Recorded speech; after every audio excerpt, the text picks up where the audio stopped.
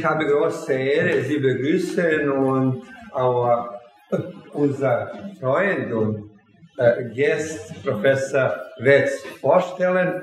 Professor äh, Wetz äh, ist, ist ein äh, ordentlicher Professor an der Juristischen Fakultät, Universität Wien er hat viele Jahre im Institut für Europäische Geschichte gearbeitet und viele Artikel veröffentlicht und so weiter und so weiter. Und er ist eine Person wie andere von, der, von dem Institut.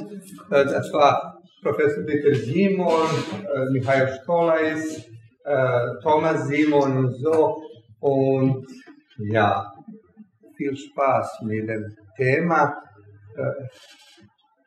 Milos. Yeah, thank you. Zoran, thank you so much for introducing me so kindly. Nina, thank you so much for organizing this perfectly. So, dear students, uh, I'm a bit concerned. I mean, it's Friday night, 7 p.m. I know it's raining, but still, I mean, you're here. Uh, I thought, you know, Belgrade would be the European party capital, but you came to listen to my very long and boring talk. so I'm happy that you came. I'm very happy to see so many young faces uh, interested in comparative legal history and many more other things. Um, thank you. Uh, so I try to make my best. You know, when I had lunch today with Nina, she was um, telling me in confidence, you know, there were people here that talked three and a half hours. I said, I'm not prepared for three and a half hours, but I will try my best to beat the record. So let's see if what I can do for you. Um, I'm very happy to be in this faculty because this faculty has been a family talk from my childhood on. Uh, when my father started to study in Belgrade after World War II, at another faculty down the street, they said to him, if you have no clue, if you have no idea about anything, if, if you're totally incompetent, if you don't know, for example, if you even don't know what is the power of one of zero. That is a very easy calculations if you do mathematics. Okay? If you don't know this, there is a building down the street, and that was the law faculty. So if you have no competence at all in hard sciences, you're a jurist. So this is a story uh, that was very long with me and my family, and very many years later, I understood the real core of this story that there is somehow an opposition between engineers. My father was an engineer and jurists because engineers have a very strict understanding of truth and jurists are very flexible. It's all about interpretation. and maybe you have heard of this sentence words may be carved in stone, but their meaning is not. So we are constantly renegotiating the meaning of sentences and laws. So this is what brought me tonight to Belgrade, and I'm happy um, to have this talk to you. And because I'm not a good speaker, I have many slides for you. uh, so let's start. So, uh, may I ask you something? Is here anybody in the room who's 22 years old? Who is 22 years old. I cannot believe this. Nobody's 22. Are you all younger than 22? Some no. of us are older. Some, some of us, okay, some of us are older, okay. Unfortunately, yeah. Unfortunately. Okay, so when I was 22 years old and I was a law student in Frankfurt, I was sitting in the secretary of my criminal law professor and he came in and he came in with the sheet and said, Take care of this sheet, of these sheets, six sheets. So, this is a very complicated story, but it was a, not a turning moment of my career, but it was a very interesting moment. So, first of all, why was I sitting in the secretary of a criminal law professor? because his secretary had killed her lover. and she was sitting in jail. So then the dean of the faculty said, okay, your secretary is in jail. You will get immediately four students doing her work. I was number four of those students, and number four means really I was the least competent of them. I couldn't do anything like a good secretary. It was about typewriting. I was totally incompetent. But you know, sometimes good things happen out of this incompetence. And he gave me a list and he said to me, please take care of this list. Organize these titles. This is the original list. And I kept it for many decades because it was a shock for me.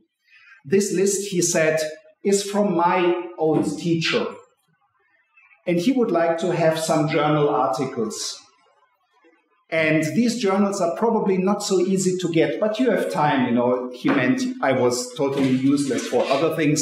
You have time, take care of this. And it was so complicated because, you know, these journals where you can't read it here on the slide, but it was like Journal of Cuneiform Studies Harvard Review of Biblical Studies. I have never before in my life heard that you know the academic world is so specialized and it's so big. So it was like a shock for me how big the academic world was, and it was really a surprise. And I thought, this is very strange. I mean, how can a jurist be interested in such stuff? So when I had this list, I put on the first sheet the name of the professor I was organizing these titles for, and his name was Preiser. So, in one moment of my life, at the age of 22, I was working for this man. But we never met. I was organizing these photocopies. I handed it to my professor, and he handed it to his, so to say, professor. Yes,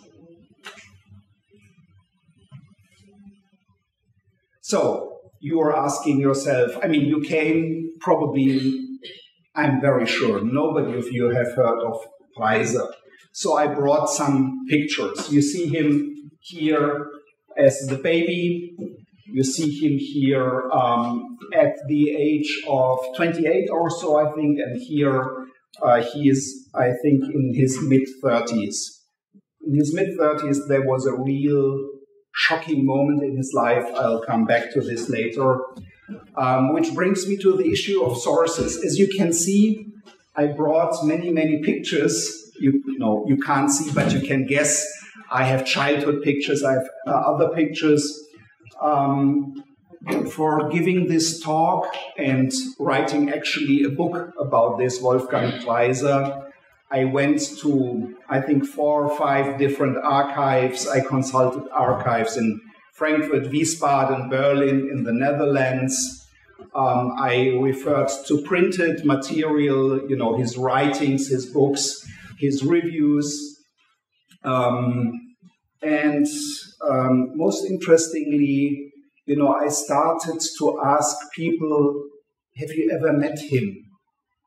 And that was very complicated. But, you know, as you can see, no, you could see on the previous slide, he was born in 1903 and he passed away in 1997. So he had a quite long life and it's quite likely that you will meet somebody um, even now in the year 2023 who had, you know, a talk with him so the longer I talked to people, they were directing me to other people and saying, ah, I, I never met him, but you can ask him.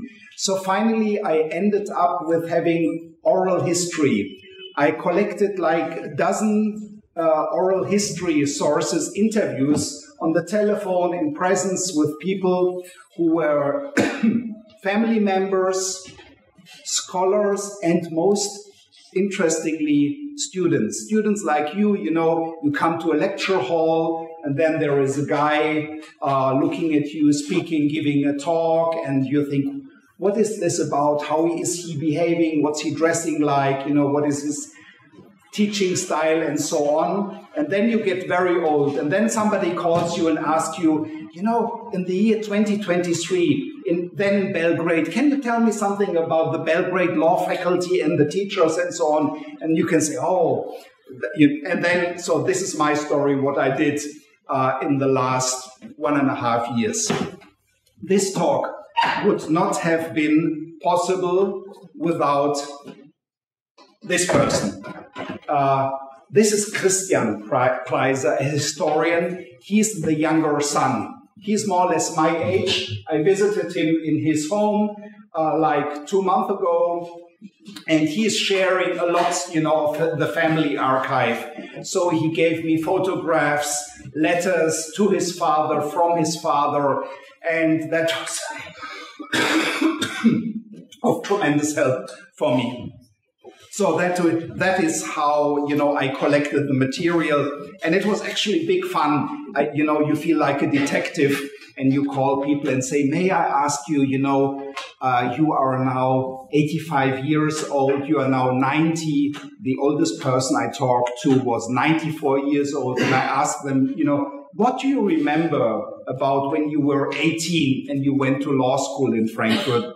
So these people were really a, a very interesting source, but as you can imagine, there was sometimes very few interface between what they said about, you know, how it was back then in the old days.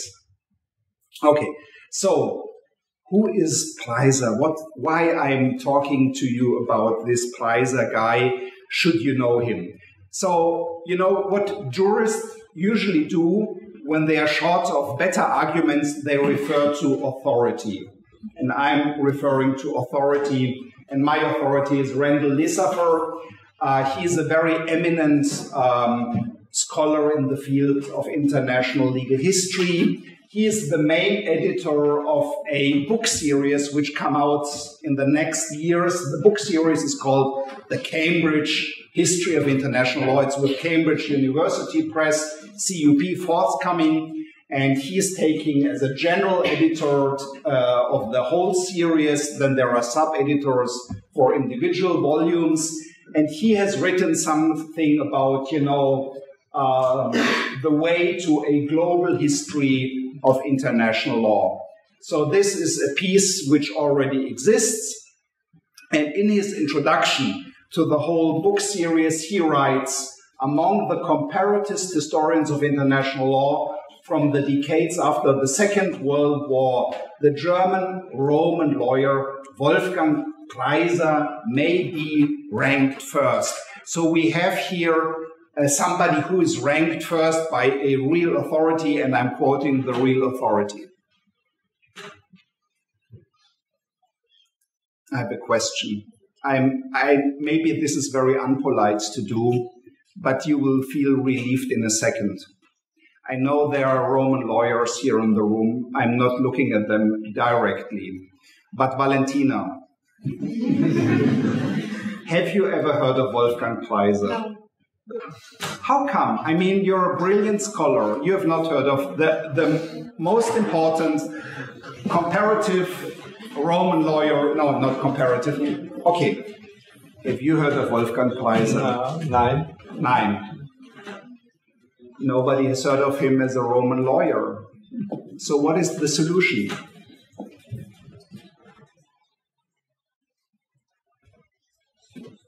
This is the solution. So, my colleague Randall Lesaffer, uh, eminent professor in Belgium and the Netherlands, has made a mistake. And the mistake is a very frequent uh, a, a mistake made very often by my colleagues. They mistake him for a Roman lawyer because he was partly, you know, friends with other Roman lawyers. One of his, you know, pupils was an eminent Roman lawyer. So everybody thinks he was a Roman lawyer, but he was not a Roman lawyer.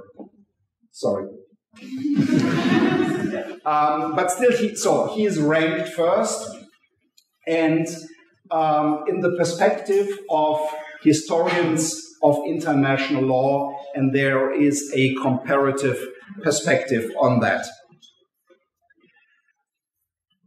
there is another joke here or another very interesting and weird point because everybody thinks he's a Roman lawyer. There was a Portuguese journal approaching me two years ago, and they asked me, Professor, you're a historian of international law. Can you write something at the 25th year after he passed away about him? Because he was a Roman lawyer. And I said, Sure, I can do this.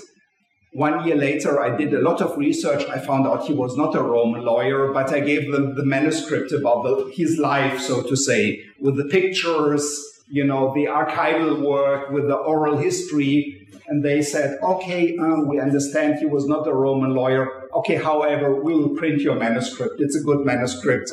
So this is in print.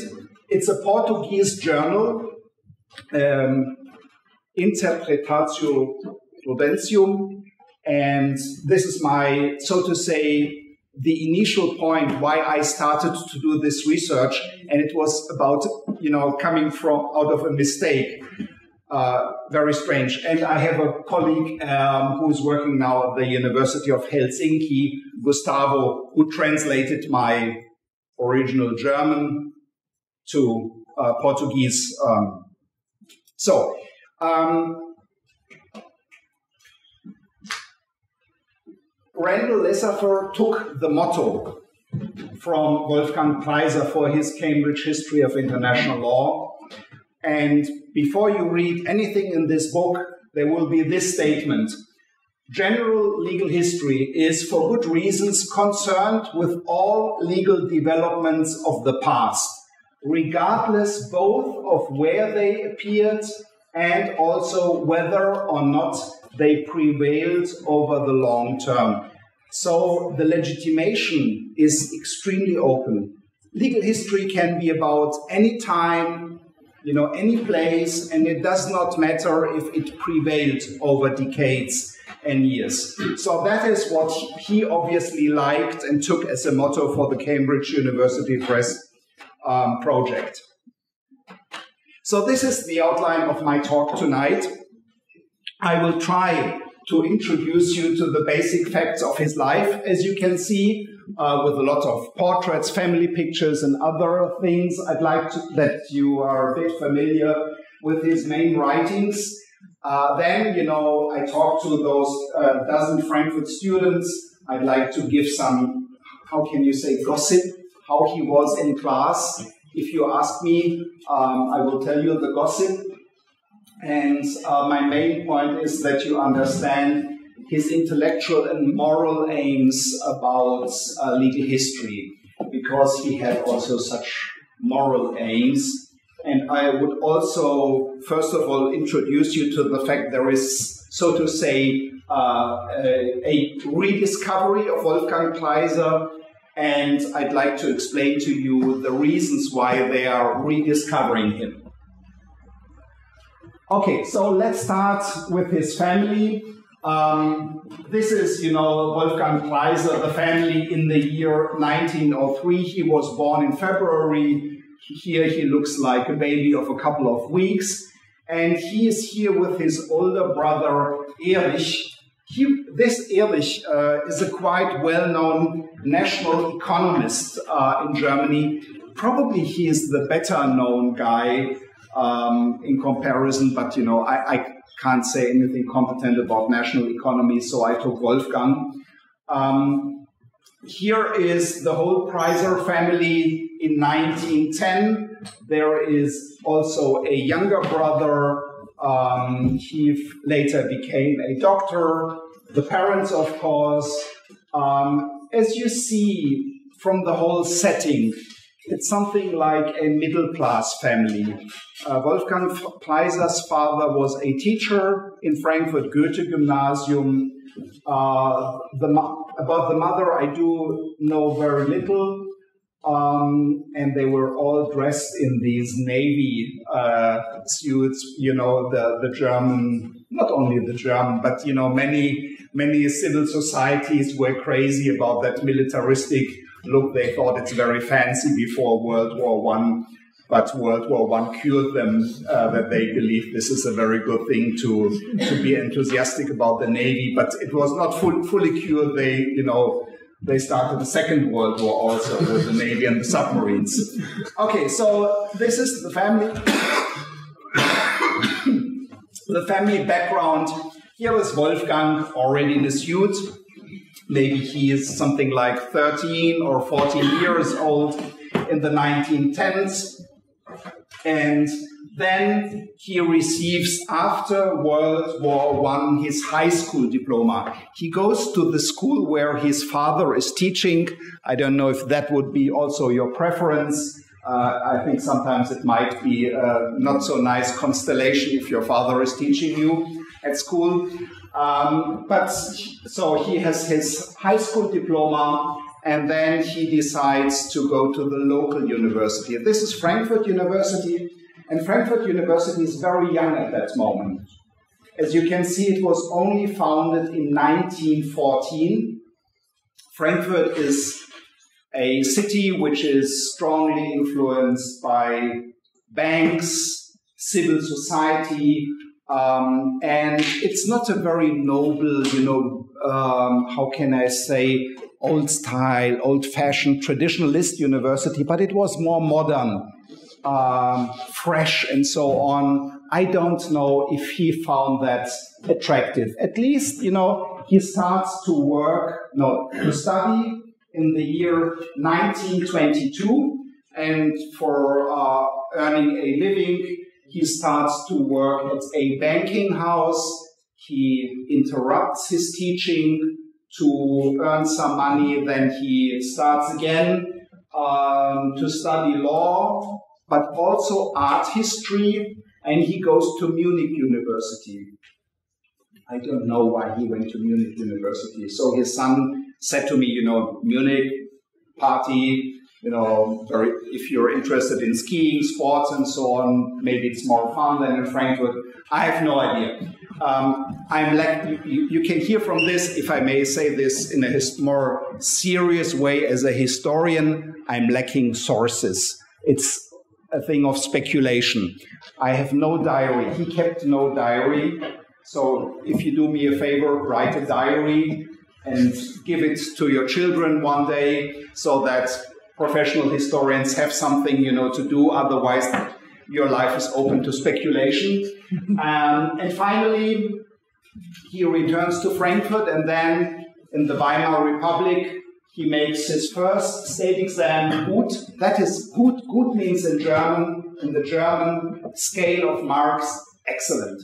So you belong to the like 10 top percentage uh, of your academic year. And the same with the second state exam. It's also good. And in the combination of both, this is really a very good performance. You can see him here. He's a cool guy. Um, you know, they are having fun with cigarettes. he was smoking most of his life, and uh, when he was not smoking, he gained some weight, as you will see in other pictures. So he studies law, he's finished, the future is open. What shall he do? So I would like to know, but I really don't know in detail what was his mindset at that time. I'm lacking sources. Um, I know he has a interest in legal history. Why do I know that? Because there are very few books preserved which he bought and possessed. So you can see here a general constitutional and administrative history he bought in 1925. Probably this means I bought this in that year. Um, and it, this book still exists. Otherwise, I don't know what he read at that time. I have no inventory of his library. I have no record like you know, a sketchbook, what was inspiring me. I don't know if you if you have such a sketchbook or so. Um, but one can imagine, you know, other people have notebooks or so as you, for example, or, or you may maybe type it in your mobile phone. I'm reading this, I want to read this. That was, you know, really interesting. I don't know. But what I do know is that he has not only an interest in uh, legal history but also in criminal law. Um, I don't know if this is the next slide. No, this is the next slide. That's interesting. This interest in legal history stretches out very far to the past. So you can see it's Oriental law and the Greek and Roman law. And Oriental law, you know, you study this here also, the law faculty. This is pre classical law. It goes very far uh, to the past. So he was in touch with this. And if you read this book, so I organized this book, I tried to, you know, understand what was in his mind when he read the book. You can see that treaties, very early treaties like peace treaties, peace treaties about, you know, how to end a war or so are already mentioned. Maybe this was, you know, also an inspiration for him. I'm not sure. Um, I can only say he has also an interest in. Uh, okay, these books were part of a very big project. It was called The Culture of the Present, die Kultur der Gegenwart. And it was like a, a big encyclopedia issued, organized by the most eminent scholars of the time. However, let me return to my former statement. Um, Preiser has definitely an interest in criminal law. He has already also a supervisor. This supervisor is named Berthold Freudenthal. This Freudenthal guy is quite interesting. He comes from this school, Franz von Liszt, a nephew of the composer, actually. I don't know if you know this. And this Franz von Liszt school has an interest in empirism, facts, and how facts interact with the law. I don't know if that was also inspiring him to develop an interest in legal history. But you can imagine, I mean, if you're a lawyer and you're interested not only in norms, but you're interested in, in facts it's not so far to go to legal history because legal history is a lot about facts, you know, that happened and that happened, and here we have a problem of implementation, and this did not work, and so on. And there was, you know, uh, issues. Okay, so Berthold Freudenthal is his potential supervisor. But Freudenthal has a problem with his faculty colleagues they are bullying him because he is of Jewish origin. I don't know in how far he is living his Jewish religion, but at least, you know, they are bullying him very aggressively and he dies early. He dies already in 1929. Um, so the plan to write a dissertation in criminal law is definitely over. Um, here you have another of these, you know, party pictures with friends and cigarettes and so on. So this is Preiser here with the cigarette. Um, this is Berthold Freudenthal. I could not find any better high resolution picture of him. Um, as you see, he died in 1929. And then Preiser is creative. So he dismisses the plan with criminal law and he decides to write a very practical minded thesis about banking law.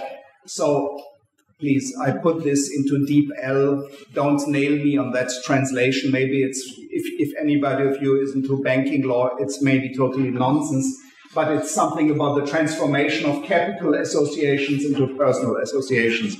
So that is a very tiny booklet of something like 80 pages or so, and he defends this thesis in early 1931.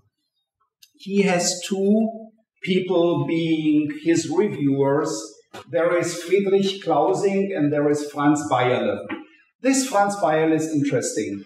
So he comes to Frankfurt, I think, in around at um, 1930 or so, I think, and he is a liberal modernizer in terms of legal education. He makes some kind of colloquium. So he includes students and he says, Look, we are planning to modernize. I want to know what you think. I want to know what you think. And my assistants will be there, and my faculty colleagues will be also there. So he was very much anti hierarchy, uh, hierarchies and really open-minded in terms of how to do, you know, a reformed teaching of law. Franz Beyerle, a legal historian, offers to Preiser, he says, would you like to have a habilitation with me? You could do something on the legal structure of the medieval city economy. Preiser says, yes, that would be my plan. But then comes Hitler's takeover in 1933, as you know, and the expectations on law professors shift immediately. So, if you want to be a law professor at the university, you have to teach now different things. There is no unpolitical teaching in a dictatorship. There is no unpolitical teaching of law in a fascist system. So if you want to be a law professor, you have to go to some kind of training in Lager. So they were, you know, putting all the law professors together and they're doing exercises and ideological, you know, training. And this is very strict. And there is a lot of pressure because the new system wants to have you all. You can't say, you know, I'm a private person here and I'm only a law professor here. It goes all into one totalitarian mindset. Okay, so these are new expectations on law professors, plus the two people who gave expert opinion on his dissertation, they have conflicts. So I talked about Franz Beyerle, but the other guy is maybe more exciting in a very dark way. This is this guy, Friedrich Klausing. I don't know if you studied Lombroso. I, I, maybe you can read from his face that he is a hardcore Nazi.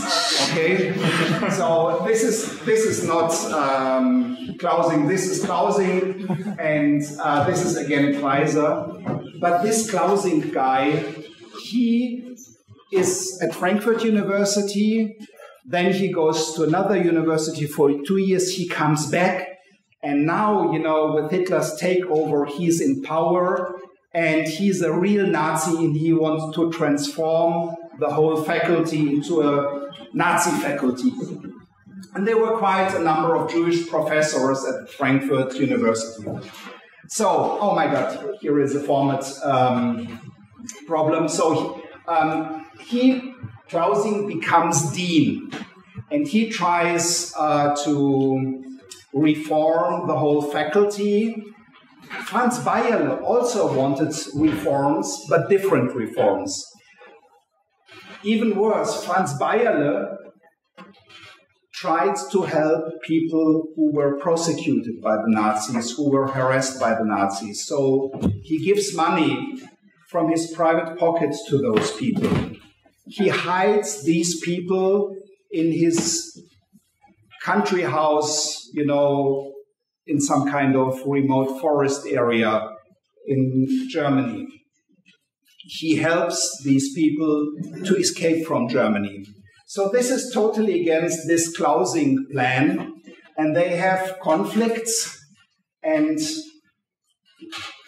if you can imagine, uh, is somewhere in the middle, and he he doesn't know what to do, and uh, Beyerle finally then leaves for another university, so he's gone.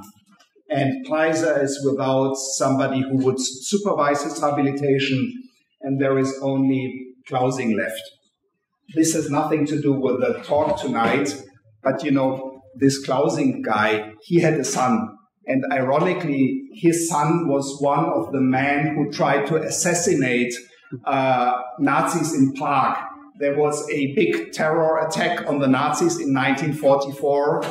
The son was, you know, put in front of the Volksgerichtshof. He was sentenced to death, and then the SA came to his father and said, now you have to show on which side you stand. And this is really true. They say to him, We expect you to commit suicide. So that is life in a dictatorship. And Klausing, you could read this nearly, he commits suicide because he is such a convinced Nazi. And they said to him, if you don't commit suicide, you, go, you will go to the Eastern Front in Russia. And that means also some kind of death threat. Okay, so Preiser has a bleak future in the 1930s. What should he do with his talent and his life? He decides to join the party. On May 2nd, he becomes a party member of the National Socialist Democratic German Party. After 1954, he writes a justification. He writes, There was a democratic burden on me. You know, I was a Democrat and now things are changing.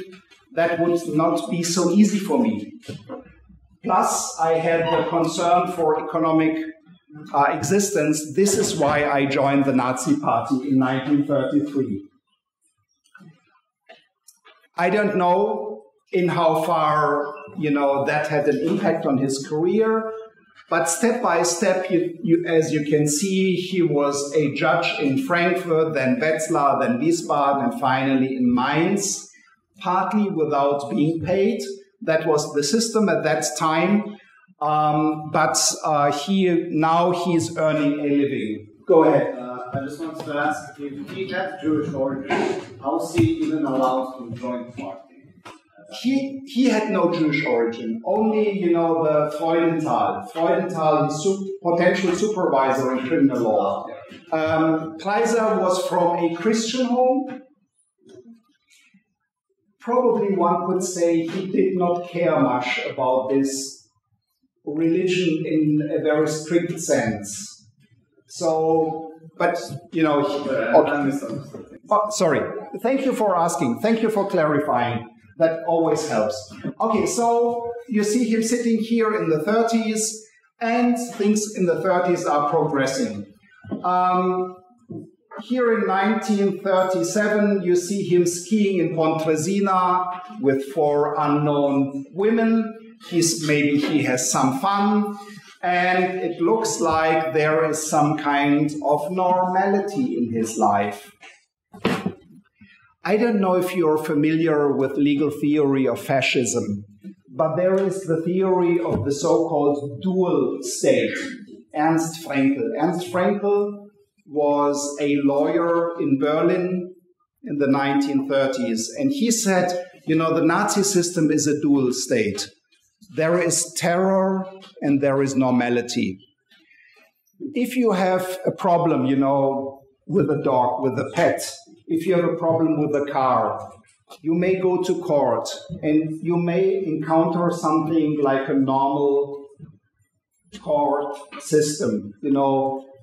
But if you are a Jew, if you are a communist, if you are a liberal, if you're a social democrat, if you're a socialist, if you're something like, you know, the enemy of the system, you will face terrorism. So, this is the theory of the dual state.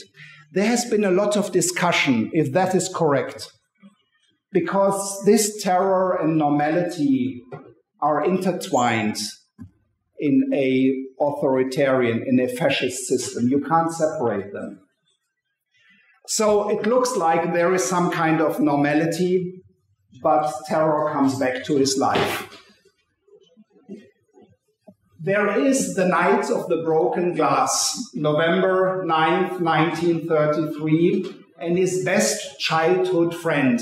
He is, in fact, a Jew. Hans Jacobius is deported. They take him into the so called Schutzhaft, um, and they take him to the concentration camp Buchenwald, and friends and family try to release him, you know, from this concentration camp, but they are not successful. So Hans Jacobius dies in the concentration camp, and you see the two guys here performing music together, maybe in the 1920s, maybe in the 1930s. And it's, he says that was um, a shocking moment of my life. Um, and later says I that brought him not only to despair, but he is not able to perform classical music anymore. So that was such a horror trip for him. Um,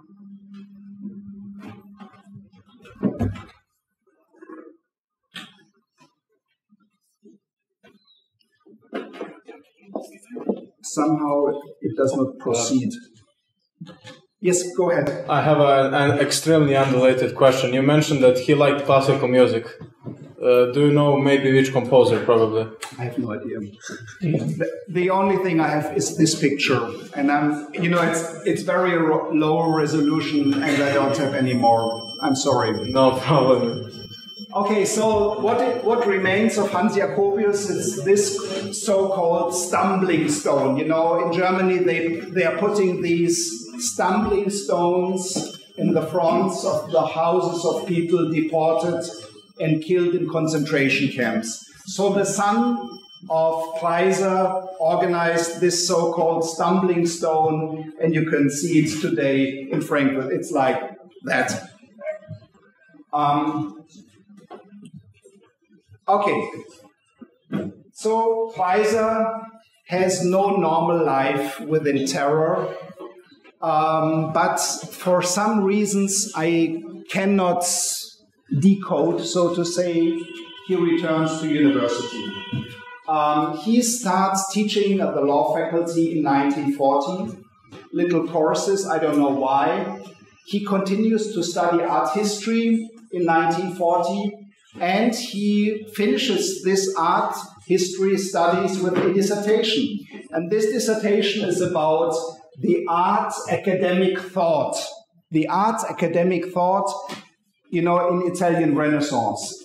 And there in this book, he is looking in how far this idea was pure when they implemented it, or if it was contaminated by, you know, for, um, other influences.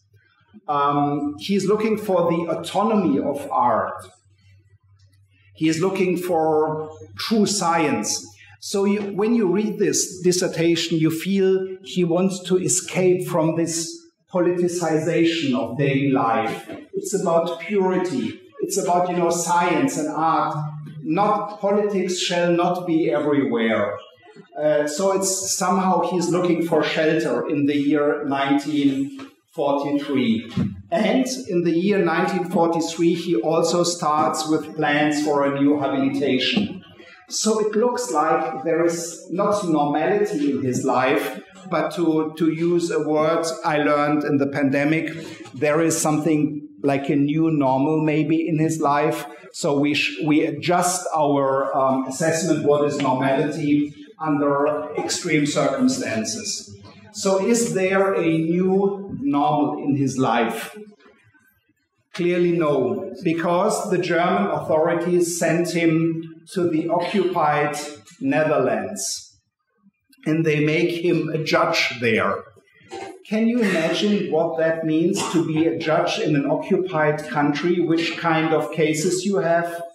So he's responsible, first of all, for the German national living in the Netherlands.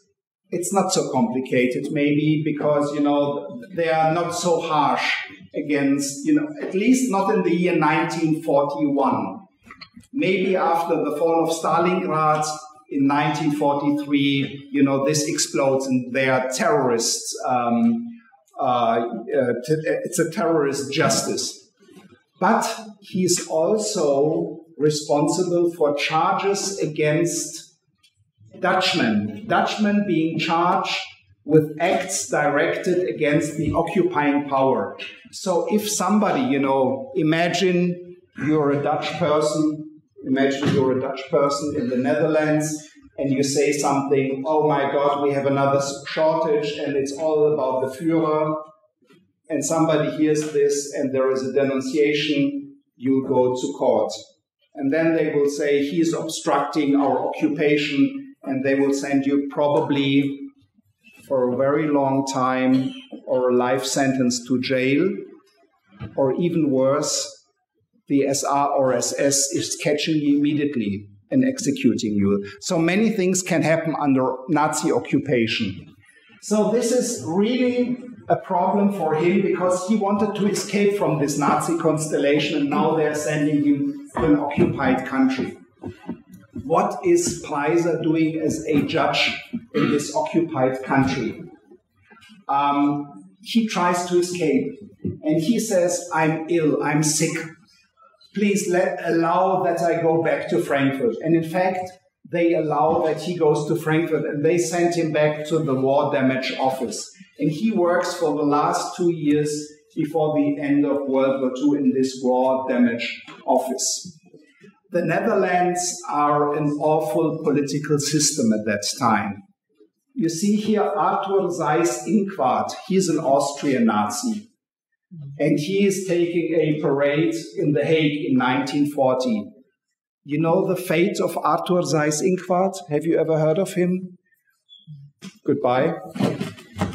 Uh, so Arthur Seyss Inquart was brought to court at Nuremberg and he was sentenced to death and executed. He was really one of the main um, perpetrators of the hor- horrific crimes of the Nazis. So, how did what did Preiser do then? He is charged after 1945 that he is an offender because he was part of the occupation regime. He was a judge and he was working for the Nazis.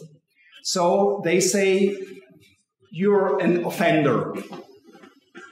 But he is acquitted and he belongs to the persons exonerated. And that is in this US American zone only 3%. Only 3% give, give, have that stamp. What happened here? Preiser has Dutch or Jewish friends and they testify for him.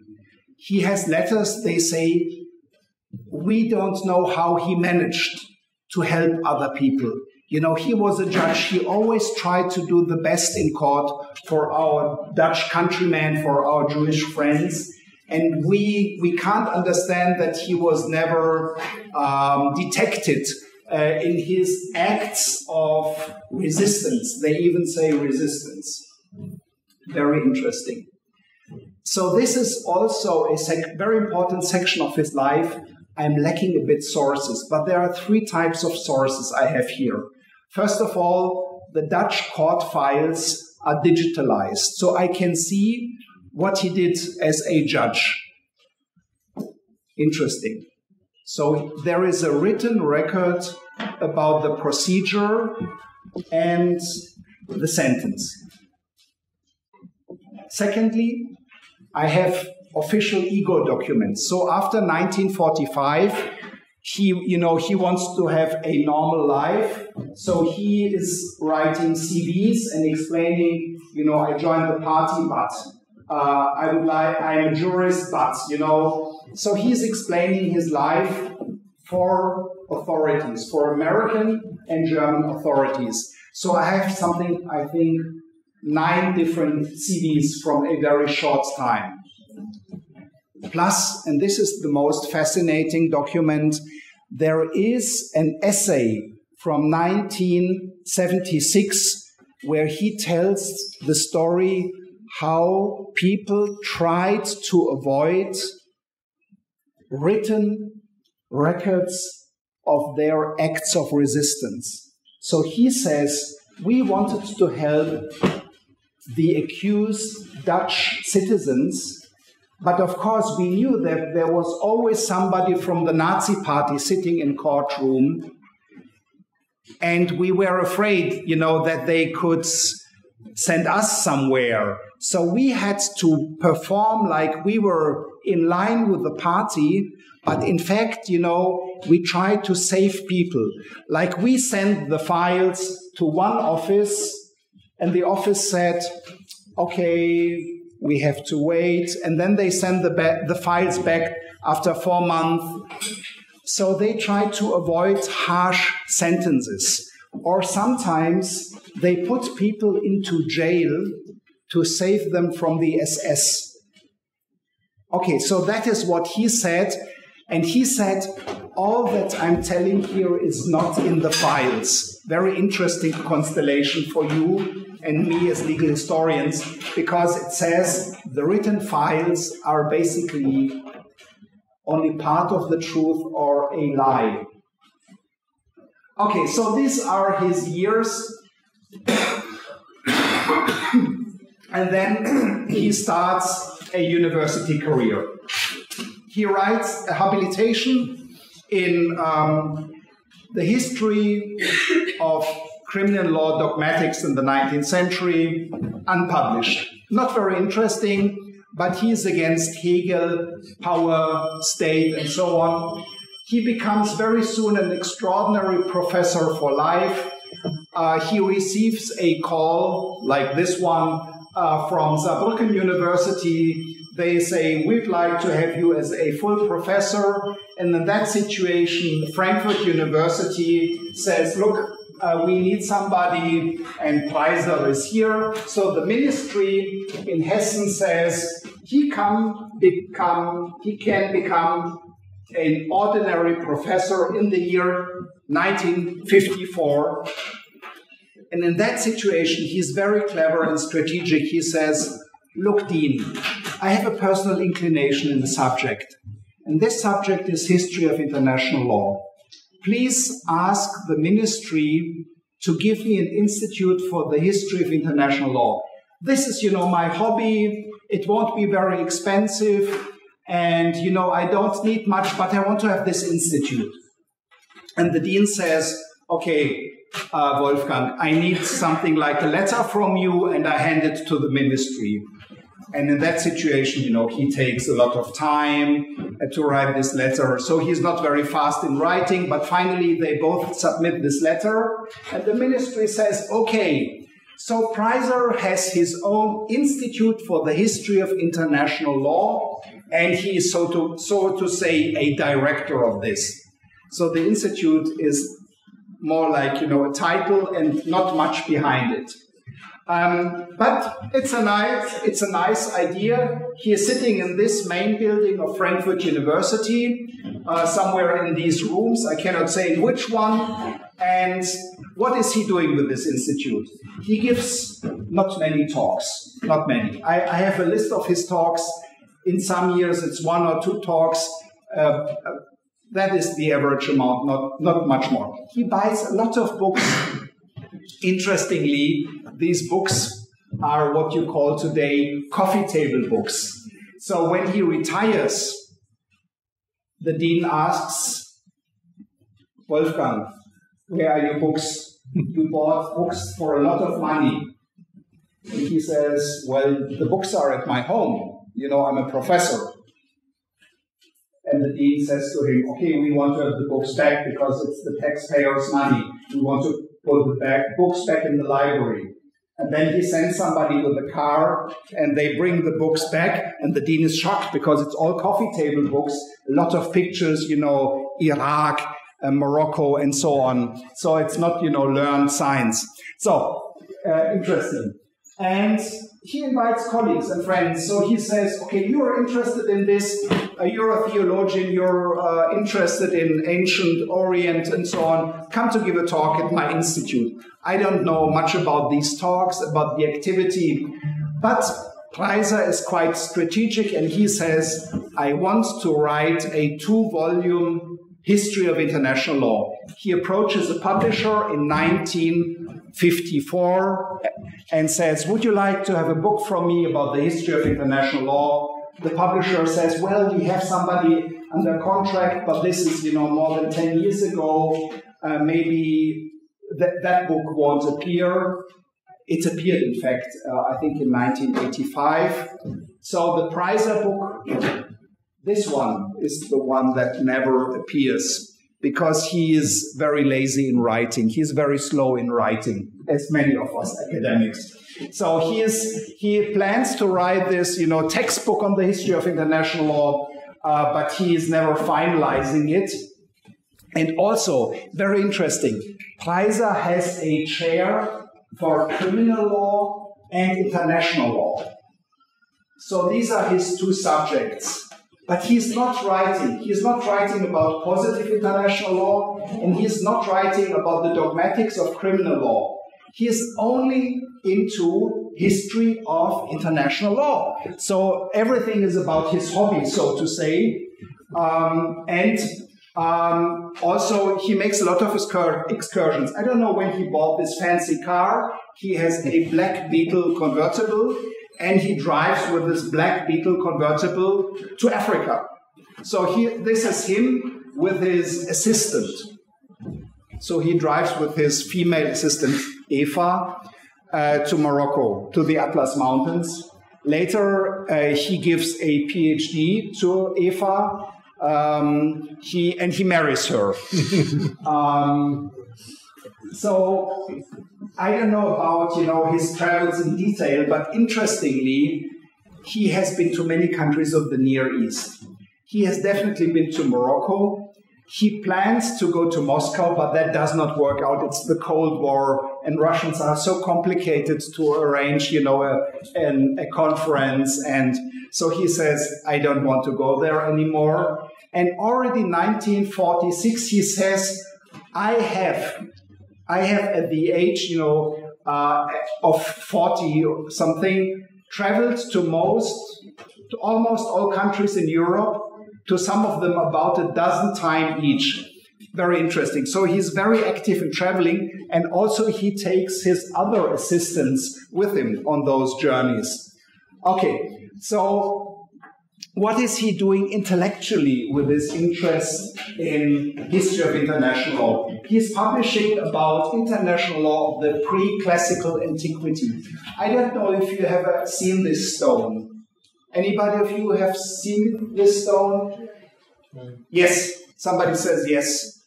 It's, it's very famous. It's from Mesopotamia, the, the ancient Near East it's the stele of the vultures. Two city states have a conflict.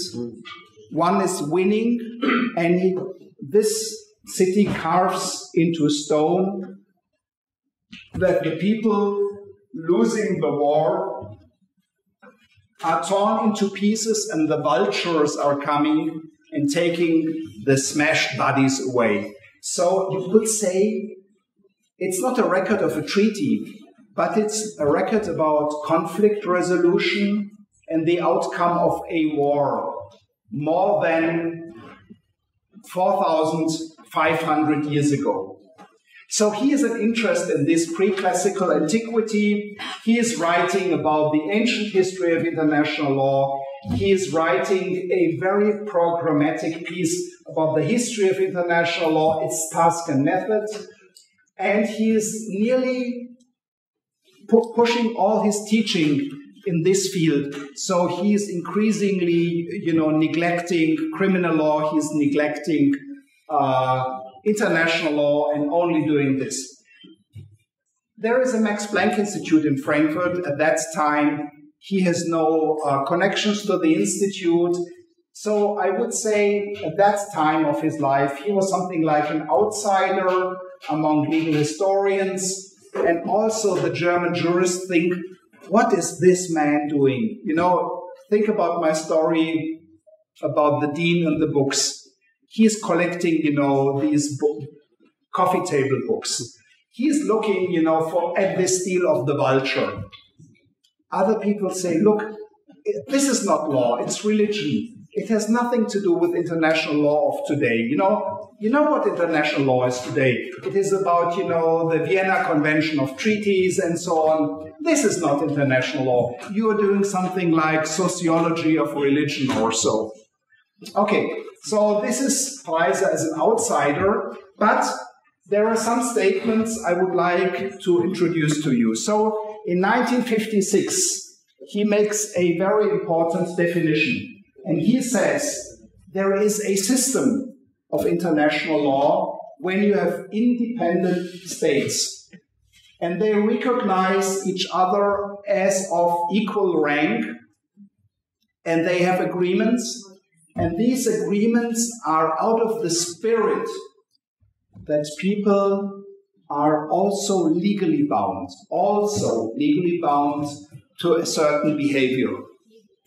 Okay, so this is his definition. Then, okay, I, I don't know if anybody of you has had a training in German. This is a shocking fact about German. In German, this is one sentence with 140 words. You simply cannot understand it if you read it for the first time. It's so complicated. It's like the Amazon, you know, uh, meandering, and it never comes to an end.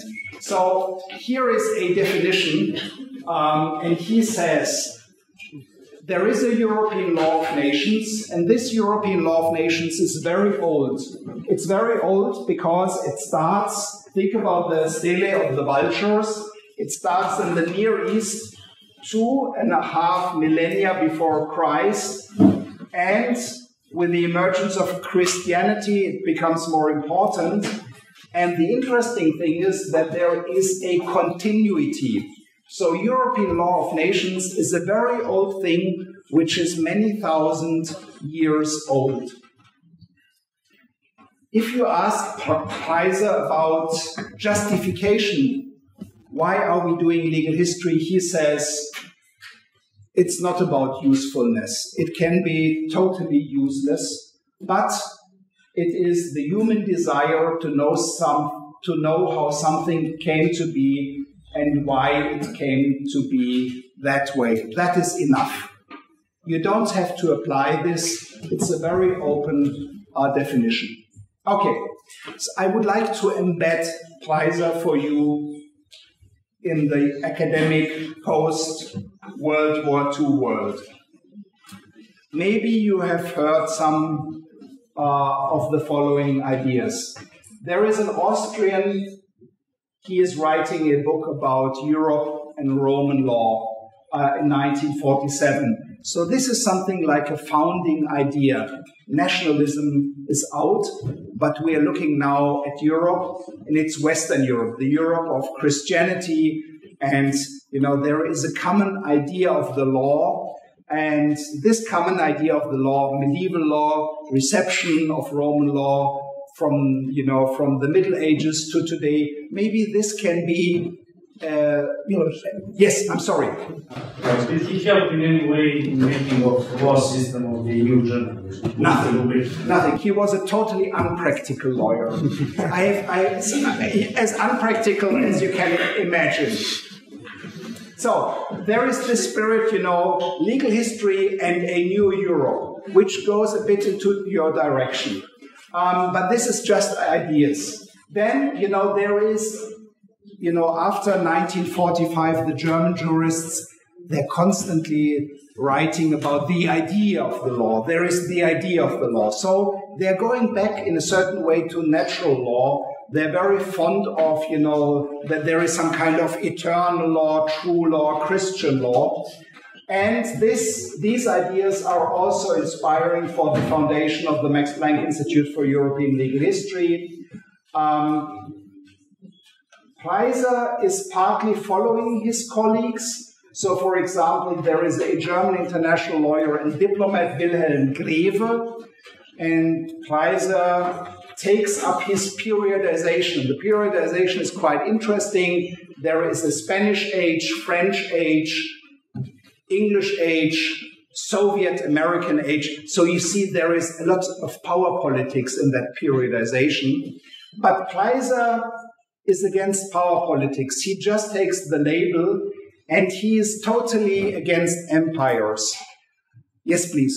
Uh, uh, because he was alive at that time, did he react or maybe comment on the Hart uh, Fuller debates uh, about the grudge informer case?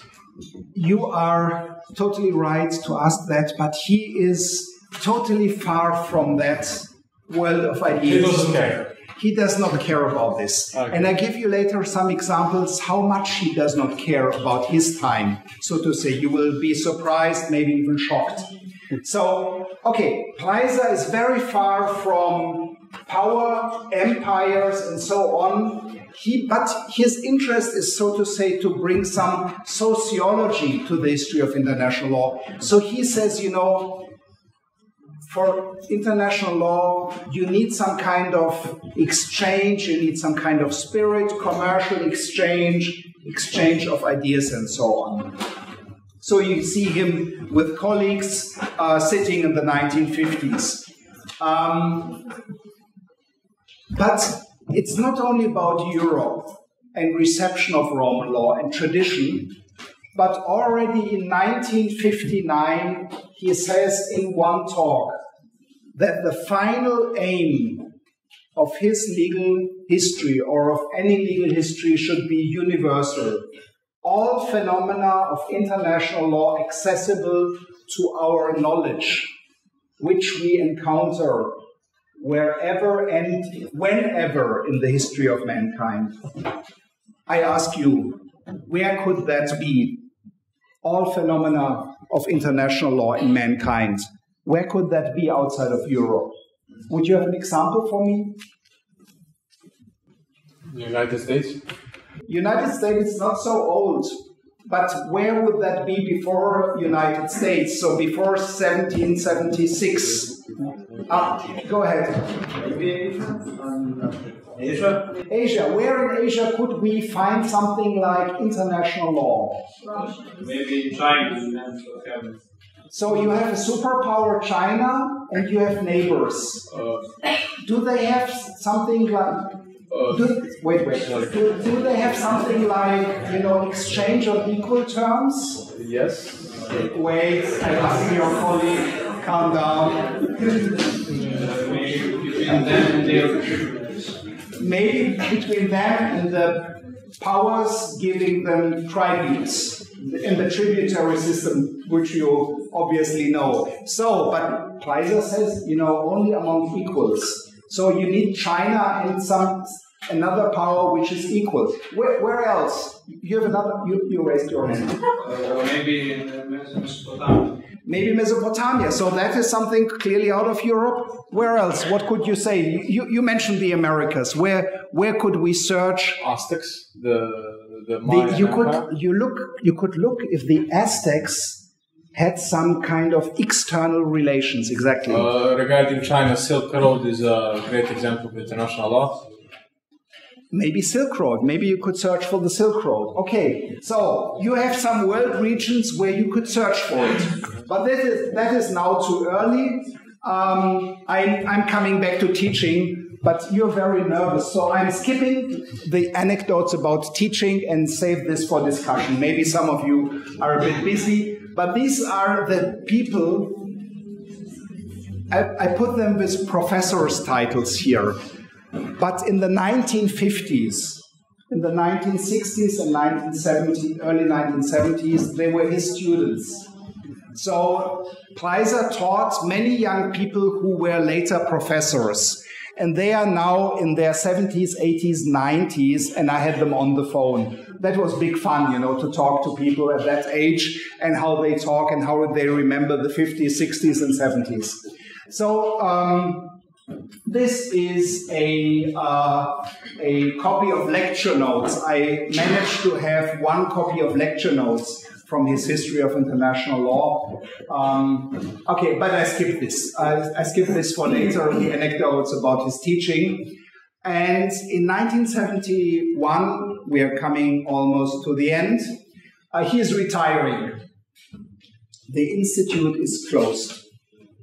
The dean the rectorate, the ministry, they have no interest in continuing his institute. The successor is a criminal lawyer, and he is not including international law anymore in his chair. And later he regrets because he says that was such a mistake, you know. Only, you know, 15 years later, there, there is a rebirth of international criminal law with the Yugoslav wars, with the, you know, Rwanda uh, massacre. Uh, there is 9/11. There is the International Criminal Court. I was so stupid to put this away. It is now so important. Okay. Um, and Preiser is frustrated from university. He hates university because there is this 1968 in Frankfurt. There is, it's near to a revolution. It's a student uprising. And the highlights of the student protest is that they are renaming Goethe University into Karl Marx Universität. So he says, you know, I'm surrounded by communists yes, if you're a conservative German professor with a tie and you have student protest around you, you know, you, you say these are all communists, they want to destroy education and so on. Uh, so he withdraws from the university and he looks for a retreat. He finds this retreat and he continues writing. So, three books. First of all, the book we were discussing, it's about early international legal order in the non European world, a contribution to the history of international law. Then in 1978, the next book, Collected Essays. These are his reviews and essays. Um, and in 1983, there is a Festschrift, you know, his colleagues celebrating him uh, and contributing.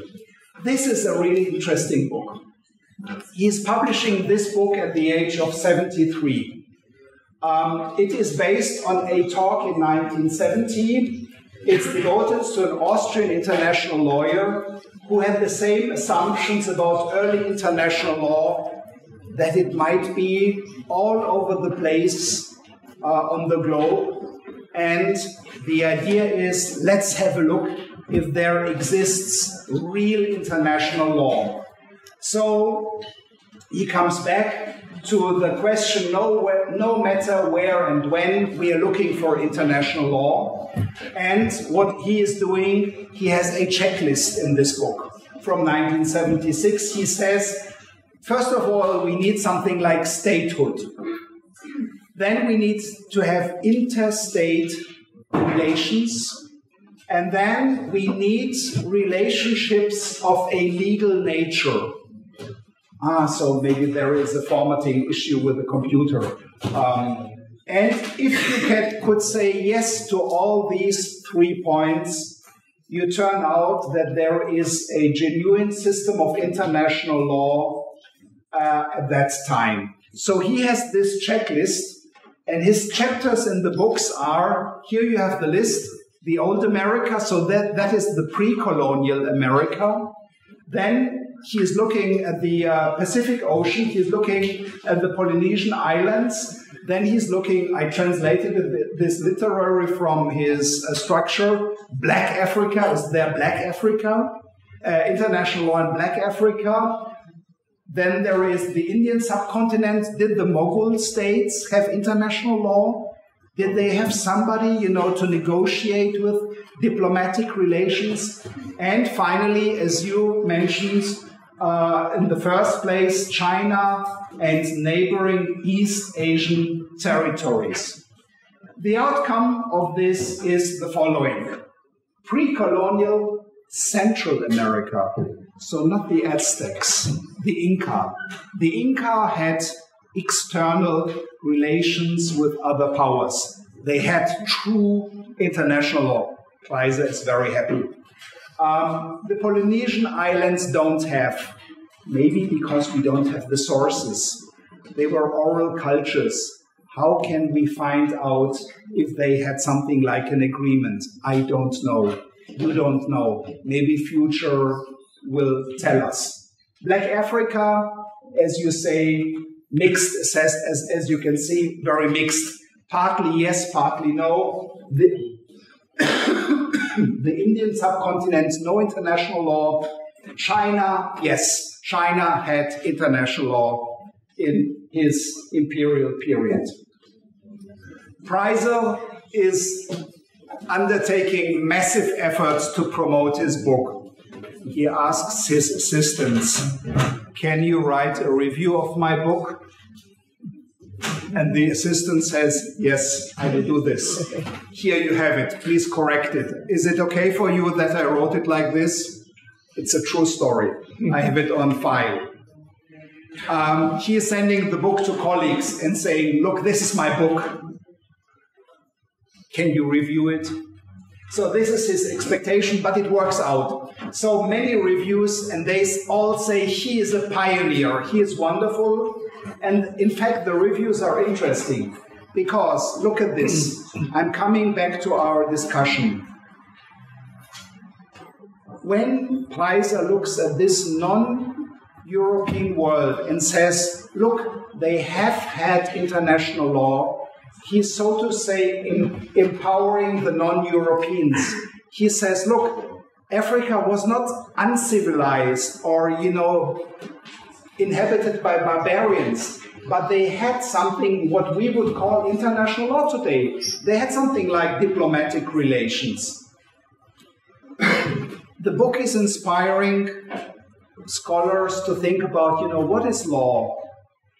Because, you know, it looks not like Roman law. It looks so different if you look at the, you know, the Inca. If you look at China, it doesn't resemble, you know, Western international law. So the question, what is law, um, is also inspiring Europeans to overcome European provincialism.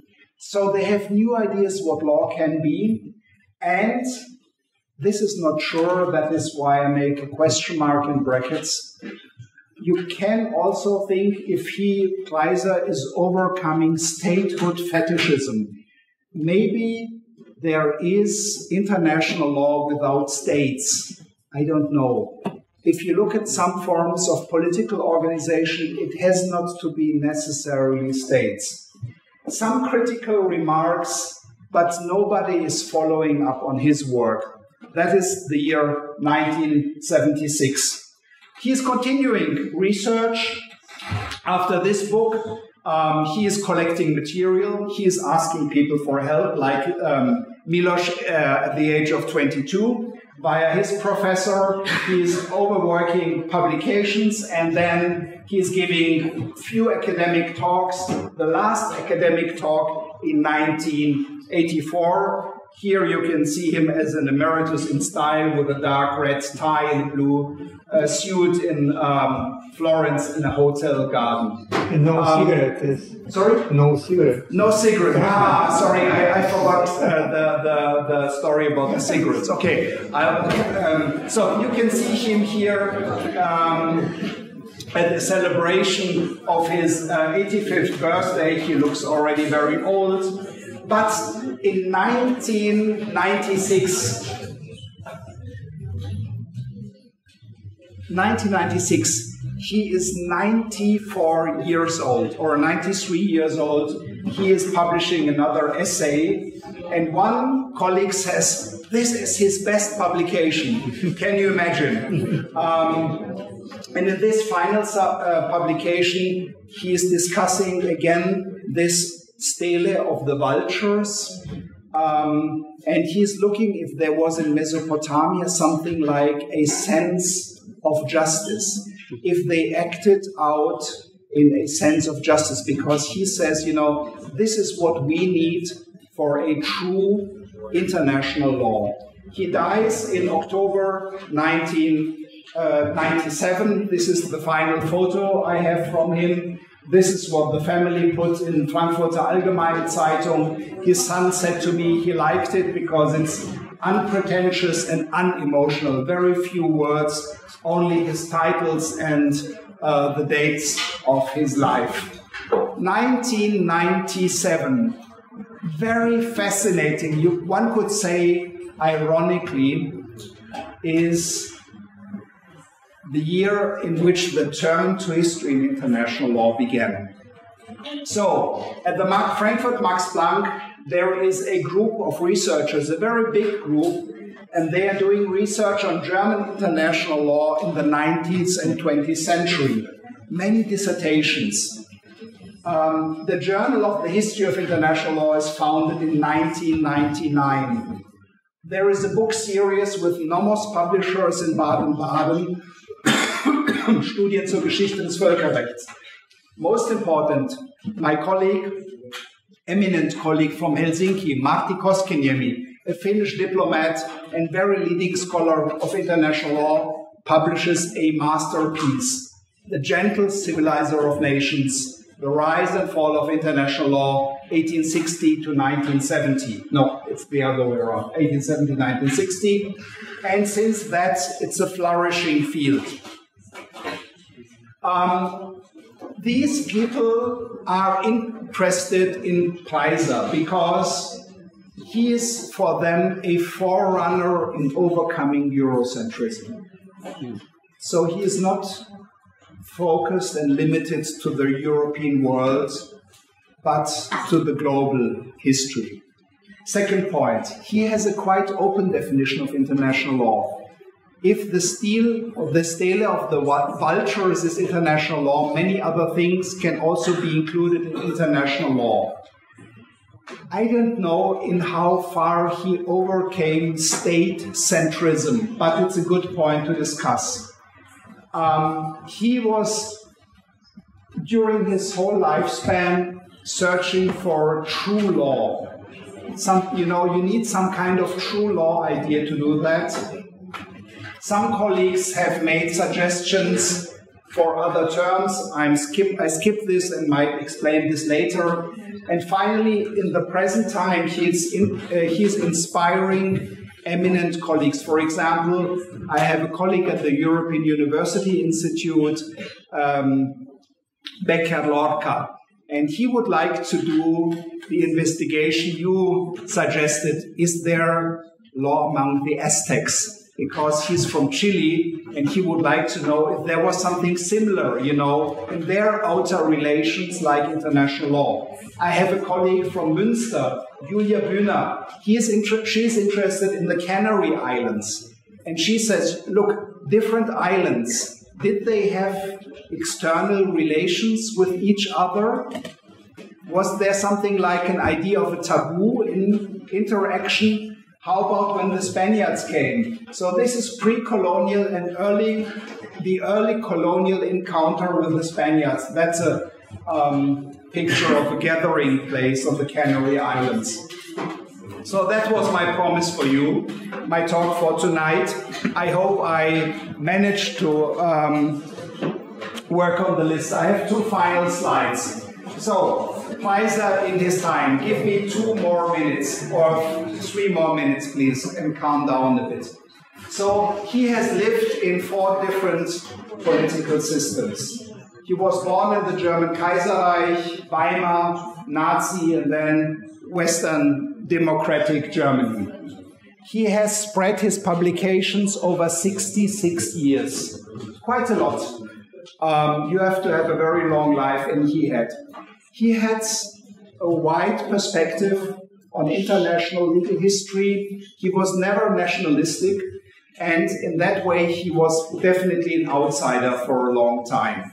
He was open minded because he went beyond text. He was not only interested in, in texts, but also in other types of sources.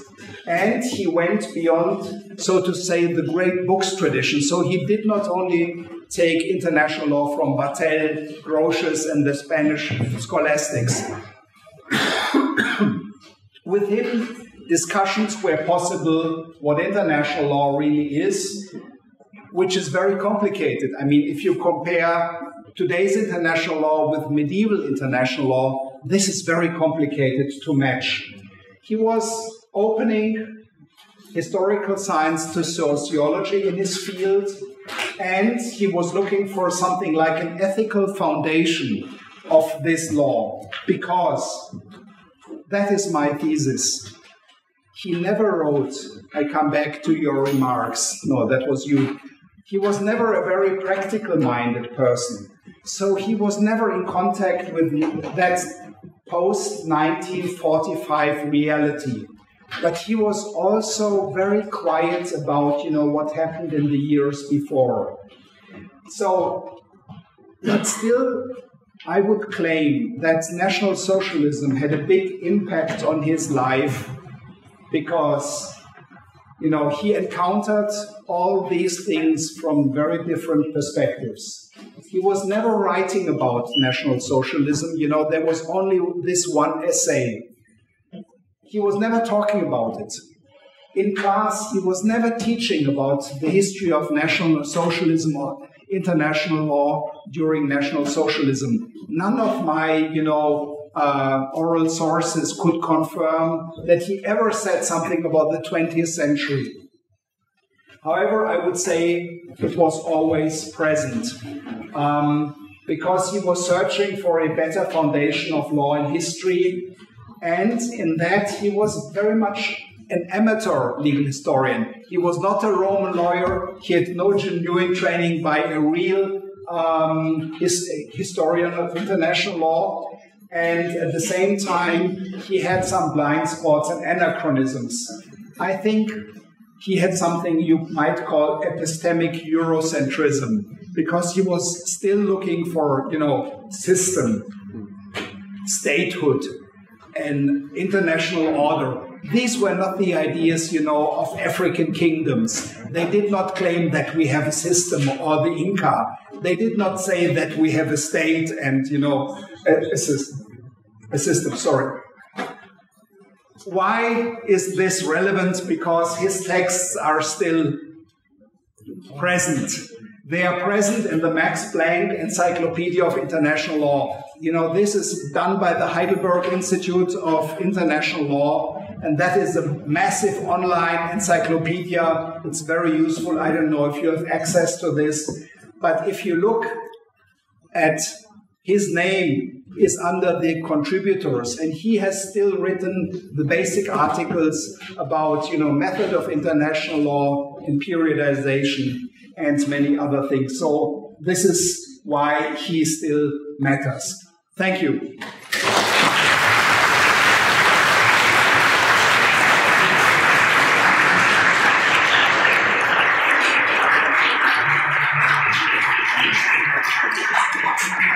So, if anybody of you is in a rush, please, you can leave the room now, and otherwise, we continue discussion. So, I didn't mean that everybody has to leave, okay? I would be happy to have some students here. Okay? You two are here, okay, but we need gender balance. I know you have both long hair. Nina, I'm sorry, I messed this up. I, I shouldn't have said this. They're all, they're all also young colleagues, but I'm delighted to see you, and you are really my favorite German legal scholar. I did not hear this. Can you say this again? Can you give it in writing to me in a gold gold letter? Always. Thank you, always. Simon. You will have the tape. You will have the tape, so you can easily Fantastic. You're so kind. ten times and as many times you need. Thank you. Zima, we we I think the break is over now and we'd like to continue with discussion. Okay? Okay? So Perfect. Okay? So I'm Go on. Just go on. what would you like to know? Uh, Please go ahead. I have, I think I have multiple, three questions. If, uh, should I only ask one or? You can ask three questions. I am taking notes. Maybe there is always the same answer. I don't know. Okay, uh, uh, regarding to Wolfgang Preiser, uh, was he more of uh, someone who believed in uh, natural law or uh, natural positivism? I think he was always looking for an idea of just and true law. So, in that sense, he believed in some kind of eternity and natural law idea. It was clearly, I think, inspired by Christian natural law ideas, but it was not so much related to church ideas, it was not related to certain denominations, confessions. And somehow, you know, the longer you read it, you feel it was a quite secularized idea because he needed to use it to so to say, to oppose the Nazis. Uh-huh. So he needed some kind of idea to say, you know, I'm here a judge in a court, but what they are asking of me is so unjust. I have to counterfeit, you know, the file. I have to avoid, I have to circumvent the law because it's so horrific what they would expect from me otherwise. Uh-huh. So that would be my answer. There is natural law, but it's not a Christian natural law, it's a secularized idea. He believed he did not believe in positivism. That was not, you know, possible after the Nazi experience, I would say. But if you have any back remarks or questions, Uh, yes, uh, I mean, because he was. Uh, could you say that because he was so interested in the development of international law in the overseas communities regarding to Polynesia, uh, Aztecs, Incas, and Mayas, uh, and uh, China, uh, could you say that he maybe believed that the idea of justice and law was something what was not a natural development, but one could say akin to uh, uh, genetic development in humans that it would come out naturally, same as your beard grows as you get, get older. I'm looking at you. Your beard is not growing. So maybe it's a very, you know, relativistic um, question. So I would say maybe he he had the assumption that different civilizations might develop something like we would call international law at some point. But empirically, he could not prove it. So for Polynesia, this thesis could not, so to say, be uh, proven. There is, uh, regarding Polynesia, there is an example of inter- uh, trade between islands, but I don't think that could be strong enough evidence to back up international law.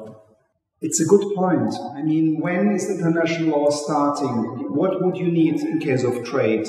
If we make a trade agreement, the two of us, it's not international. Yeah. So you would need independent, something like independent communities Oh yeah, two communities trading, but it was totally different. They didn't even use money; they used the big stone circles carved into out of big rocks, and yeah, it, it's a wiki. My, my empirical answer would be maybe Preiser did not know this 50 years ago. You know, he wrote this book, he published the book in 1976. So he wrote this in the early 1970s.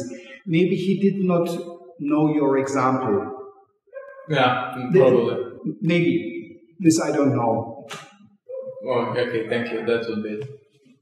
And the other two questions? Oh, and those are really less uh, regarding to the presentation itself. Uh, you mentioned that in 1944 the there was that, uh, that attack on Prague on the Nazis Yes. in the Prague. Yes, is that uh, when they killed uh, Heinrich. uh, Rein, no, uh, Reinhard? Heydrich. Yeah, yeah. That's that. That's the instance when they killed him. So the his son was The son of Klausing was Yeah. part of the assassination team. Yeah. You know, your father is a major Nazi and your son tries to kill And- uh, in Prague. So what a sad story for the father. I mean, good that he killed him. I mean, he was a terrible Nazi. yes. And the other Profesore, one, možda je pitanje. Sure. Profesore, Izvinite, ali je slabo, pitanje. da, ali slabo uh, moje, s- moje srpsko. Can, can you try to do this in English or somebody might translate it? A, samo Nina da prevede, profesorica. Ok. Hvala mnogo. Nina, Nina, profesor. Tu sam, tu sam. Pričajte.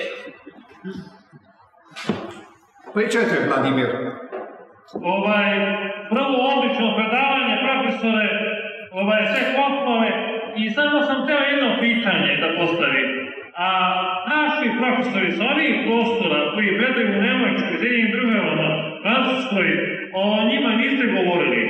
I imate li takva saznanja?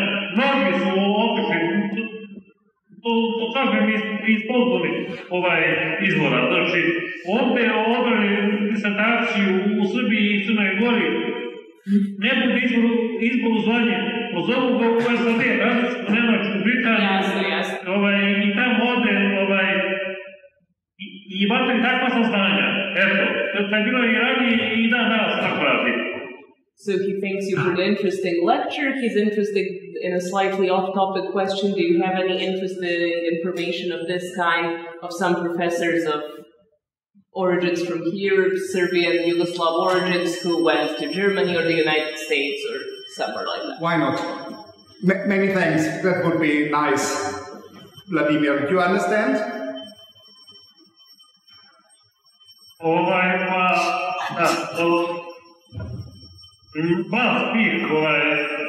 Pokušavam da razumijem. Okay. Hvala mnogo. So, I'm looking at you. Anything more you would like to ask? To you also can just comment on this. If not, I'm yes. Please go ahead. Uh, well, I was curious about uh, about the books that he published in, la- later in his life. Uh, you mentioned that there were some bad reviews of them. Like, what people said that it was bad about his books. Ah, that, that is a very interesting and a bit complicated question for me. So, you know, there were his edited, the edit, the collection of his edited, no, the edited collection of his essays.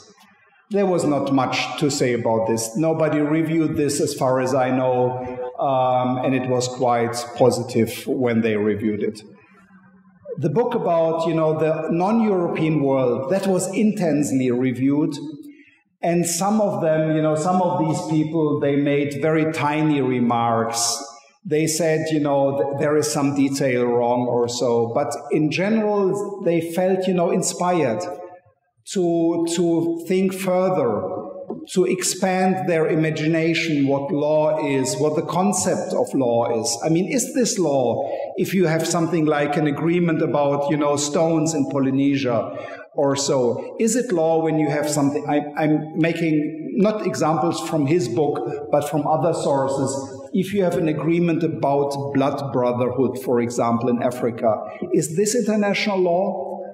So th- this is why I think you know Preiser can help to discuss the concept of law and what international law is in a time where the word international law did not exist. Maybe you know this. The word international law is only from 1789. Jeremy Bentham invented it before it was called law of nations. But he said, you know, it's better to call this because it's about international law. It's about the between states uh, world and not the law of all nations. So, very few critical remarks, only about details, no fundamental attack. I'm not sure. As I said, you know, he orchestrated also the reviews. He gave a lot of efforts, you know, to people that he liked and he assumed that they would like his book or so. And also, you know, there were very few people competent in what he aimed at because he was not he was not an expert in Polynesia. And the people, you know, an expert on Polynesia could review this book, but he could not understand the other four parts of the book. So that is why he was very ambitious and a pioneer. And if you're a pioneer, you know, sometimes people say it's not relevant or it's out of scope or so. So that was, I would say, uh, the overall picture. He had, in, during his lifetime, I mean, if you if you put out that book of the whole panorama, he had little resonance. I would say, you know, he had only one pupil who went, who would later be a professor and a historian of international law. Um, he had, you know, a couple of PhD students, not really many, if you compare it, you know, to mass production uh, with other professors or so. So I would say that. So this is why I'm saying, you know, he was an outsider of mo- most of his life in the academic world because that was so far away, you know, from his colleagues who did constitutional history, criminal law history, civil law history, Roman law reception. That was much more, you know, the, the, the spirit of the time. Yes. Go ahead. I also wanted to ask a bit off topic, but that protest that happened in, on, Yes. in the university where the where basically they renamed the whole university the Karl Marx like um, faculty. So what was No, like university, not only faculty. Sorry, university. Yeah, my bad. So, what was like? How? What was the point of all that? I know it's a bit off topic, but I just can't like my. I can't put my finger on it because it just seems. It seems more that they were taunting the school for being like Marxist or like uh, communist rather than like doing it for like their own image. It's It's a very important question, and I'm happy that you're asking. Look, this is the year 1968 in Frankfurt. If you look transnationally, there has been a year 1968 in Prague. So that was protest against a communist system. There has been the year 1968 in Tokyo. That was protest against the building of a new airport. Very important Japanese, so to say, environmental civil society protest. There has been 1968 also in other countries, like in France, they were close to a re- revolution, the end of the republic. And there was 1968 in San Francisco.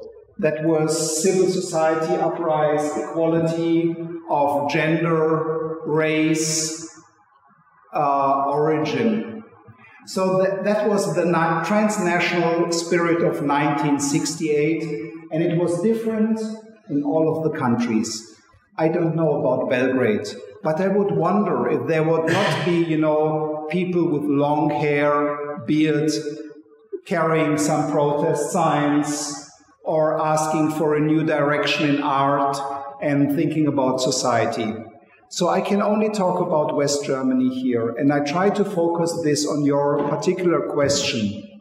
If you look at West German law faculties, the 1950s and 1960s, you were, you were a student at that time. Many of your teachers would have been Nazis. And you would have known that because their, their writings were on the shelf. You could read what they were commenting, like, you know, on uh, the anti Jewish law, on the Führer, how they were commenting, you know, on the warfare uh, in Russia. So you could see that they have been previously highly anti democratic, authoritarian minded, against liberalism. And some of them were, I mean, also there is the gender component. You know, there are a few women here in the story. That was a very male repressive system. And now there was this flower power spirit of liberalism, you know, um, and they wanted to have their share of it. And it was against the press. It was against the university because the professors were not like your professors. They were very authoritarian men, you know, and they were asking you sometimes to be also very authoritarian if you want to pass the law exam. And all that's not, not all, but a remarkable share of that generation, they felt, you know, the system is so unjust. They saw colonial war in Vietnam. You know, they saw in the later uh, 70s other wars. And they said, you know, the capitalist system is wrong. You know, the Americans brought freedom maybe to the western part of Germany, but there is still an issue with our civil rights, with the constitution. And we need, you know, an opposition which is out of the parliament. And that was the idea. We have an opposition which is not represented in the parliament, but from the street. We are protesting. They're shooting us down. They're putting us into jail. They're telling lies about us. What, what was, in fact, they were telling lies.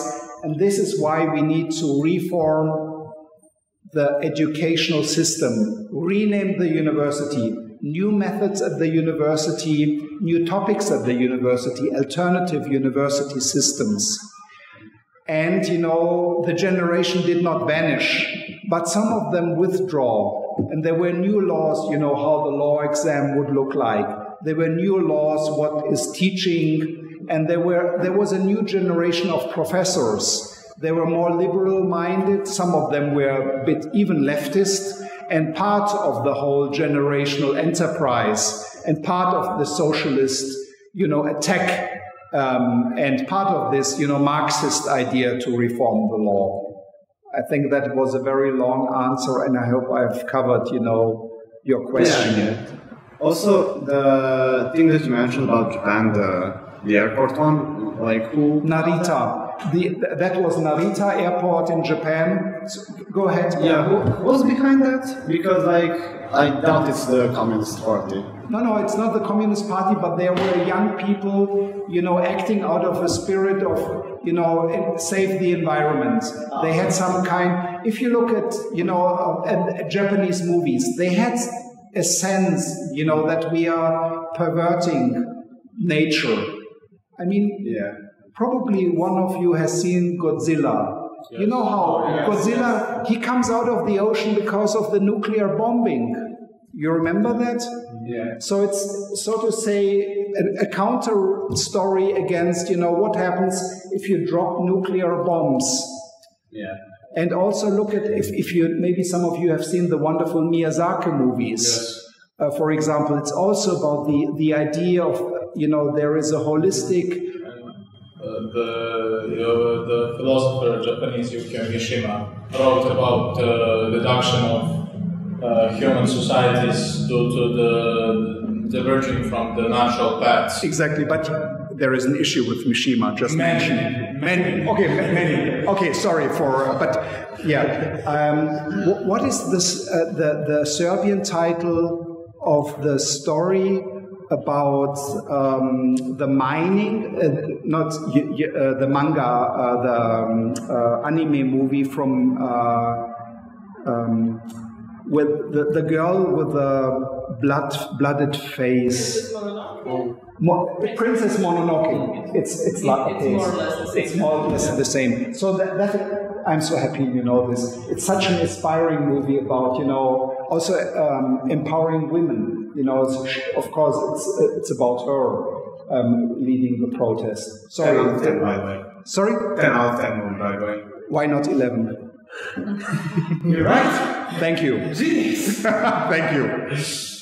okay, go ahead. Uh, are you familiar maybe with the North American Iroquois Federation, the, the one of the first international law documents from the North American continent, where in the northern part, near the 13 colonies, the six tribes uh, made a first probably international federation in the sense because loosely using the word national because those were not Yes. nations in modern sense but later exactly. uh, the, but uh, what's interesting there recently uh, there have been some claims uh, that the that Iroquois Federation also inspired the American legal system and are you familiar with that? Zoran, in my first training as a teacher, that was many years ago, my teacher told me there is always one person in the room who knows more about the topic than you know. Be careful what you say. so today, in that sense, you are the person who knows more about this. Uh, I'm not familiar with that treaty. But I know that they have been, you know, you could see them as political entities forming some kind of a union. I'm hesitant to follow the claim that this was inspiring the founding fathers. Same. Th- This is David Graeber and others who are claiming this. I'm, I don't believe this. There are, I mean, there should be something like a record. We have abundant records for other things. I'm a bit hesitant if that is so. But what we do know is that, you know, when the, first, the so-called First Nations met at the first time with the white settlers, they were concluding treaties on equal footage. I don't know if you have ever seen the Treaty of Montreal from the La Grande Paix from 1701. And they were concluding a treaty with Indian, not Indian, First Nation symbols and terms. That is a fascinating document. So, sorry. That, that, that's, you know, that is my, so to say, icon for that First Nations had some idea about, you know, agreements and exchange and so on. And now, you know, that is Preiser's question. Is that real international law? Or is that something else? Like it's just, you know, an agreement? Uh, like, maybe we should try to define what a nation is in the first place. What's you think that helps you out of the dilemma. I say it does not help you out of the dilemma because then you have the next problem is this law. So, this is, you know, I come back to one slide I skipped previously, and um, maybe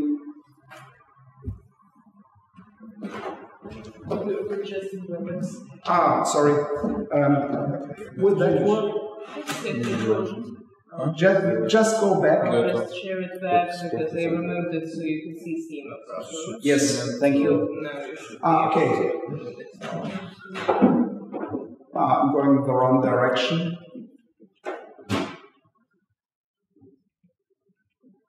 Okay, so this is my suggestion for you. Have a look at the slide. Heinhard Steiger, a colleague from Gießen University, said, maybe it's misleading to call that international law. Maybe we should talk about inter-power normativity. Maybe this is a solution. Probably. I don't know. Lauren Benton and Adam Clulow said in 2015, let's talk about interpolity law. It's not nations, you see, it's polities. So it's like, you know, in Mesopotamia. M- maybe it helps. Yeah. Also, the, the fact that modern concept of nations is a relatively new thing. It's so new. Uh, Also statehood. I mean, you, Yes. you cannot project statehood to, you know, 4000 before Christ. modern German statehood was formed uh, in the middle of 19th century with uh, after the Napoleon conquest. Am I right? That's historically speaking, that's practically yesterday. So yeah, it, we we cannot apply modern concepts to things that happened.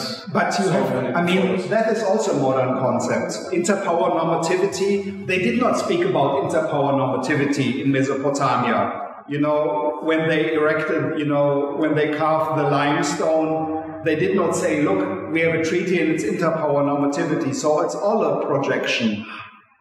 yes, yes, you're correct. Thank you. I, I mean, there it's you have always new problems if you shift to a new term, but sometimes it's helpful to consider the new term. But there is always a blind spot. It's just about you know being aware of the blind spot. Sorry, you raised your hand. Uh, you, men- you mentioned he wasn't a Nazi, but I wondered, was he maybe led by some other ideology or bigger idea? I don't know if I said literary he was not a Nazi, but I believe in a wider sense he, he I did not found, find any trace of any Nazi thinking in his work and life. And he also said he wasn't a Nazi. Yes, he, he said that. You know, but many Germans said that after 1945. you know, uh, that might be shocking to you, but many of them were in fact Nazis from head to heel, if you could say so. Know. So, but I come back to the sources. You know, the, the point is he went, he joined the Nazi party and he served as a judge in the occupied Dutch territories. So that, that would be, so the, um, the probe. And I, I feel, you know, he had some judgments which were harsh, but they were not extreme. He said, you know, we tried to avoid the worst thing that, you know, the SA, the SS is catching, you know, the, the Dutch people by, and we are doing that by putting these people to jail.